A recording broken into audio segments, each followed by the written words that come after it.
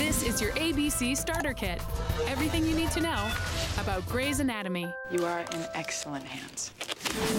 For starters, Grey's Anatomy is about a group of dedicated young surgeons in training at Seattle Grace Hospital I drilled a hole into this guy's skull. Rockstar! and their daily struggle with life, love, and loss. I'm waiting for how this applies to me. Okay, here are the ABCs. Three things you gotta know about Grey's. Look me in the eye and tell me that you're not thinking about a threesome. A. The doctors at Seattle Grace have passionate relationships, This is awkward. which tends to lead to a lot of passion. All you people ever think about is how to get into somebody's pants. You nasty. And since they won't all make the cut, the competition I'm gonna win. you bitch! is extreme. Congratulations. I know I should seem more enthusiastic, but I'm not that big a person. C. This is a medical show after all, Your brother has parasites in his brain. I cleared my schedule. and Seattle Grace has its share of medical marvels. Not nuts. I'm just pregnant. Now let's run down the starting lineup, beginning with the residents. Sweet. There's the show's namesake, Meredith Grey. She's brilliant, but way more screwed up than you are. Thank you. her BFF is Cristina Yang, You realize this constitutes hugging? who could use some work on her bedside manner. Shut up. There's the cocky Alex Karev, I am here for the sex if you need it. the idealistic Izzy Stevens, We get to save lives. That's what we do. the lovable George O'Malley, Dependably selfless. and Meredith's eager half sis, Lexie Grey, Teach me.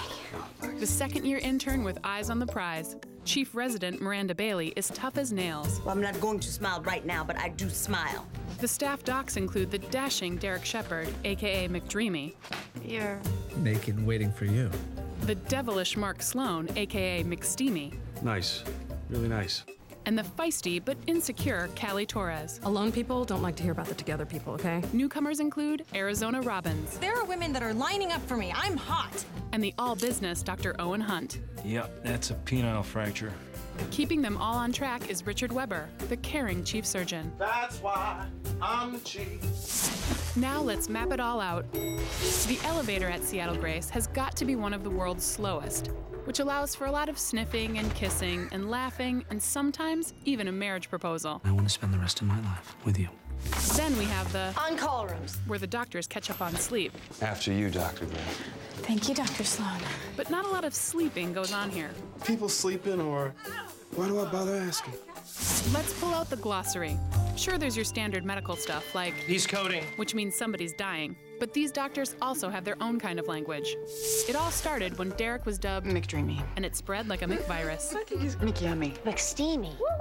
McDreamy was was doing the McNasty with the McHottie. That McBastard. With as much time as these doctors spend together, you're going to get some interesting relationships. You want to stand there and talk metaphors? You want to literally take off your pants. so here's a jumpstart on the basics.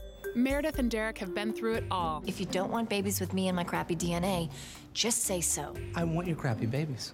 but finally got serious and made time to make a commitment, at least on post its. This is forever. Now what? Now I kiss the bride. Lexie and Sloan fell hard for each other, I'm sleeping with her. The one with the juice box. but when he opened himself up to more, You brought up moving in together, and I put it off. Lexie stung his pride. I'm moving on.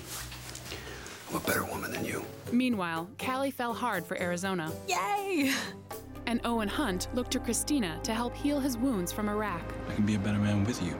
And after a number of battles, Cristina finally opened her heart. I can't breathe without you.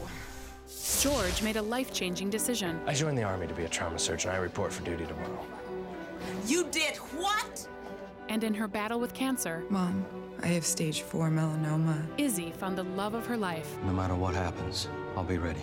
But just as she and Alex were starting to see a future together, Get a crash cart. tragedy struck. And there was a horrible accident. It's George!